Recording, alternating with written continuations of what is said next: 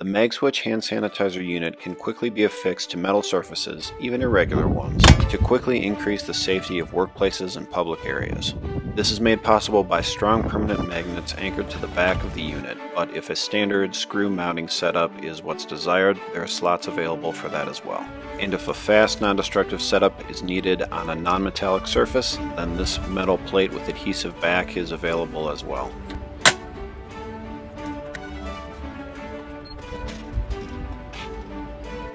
Servicing the unit is simple. A key is used to open the front so that hand sanitizer containers can be changed out. If you're interested in purchasing or distributing these units, please see the information in this video description for a MagSwitch contact. Thank you.